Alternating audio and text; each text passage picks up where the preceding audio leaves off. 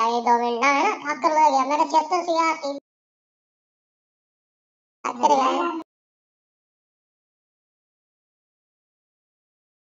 दो दो एक क्या है लेकिन बाद में मैंने समझ आ गई कि मैं दो एक पूरा काम कर दिया पॉइंट में चार सी यार उसमें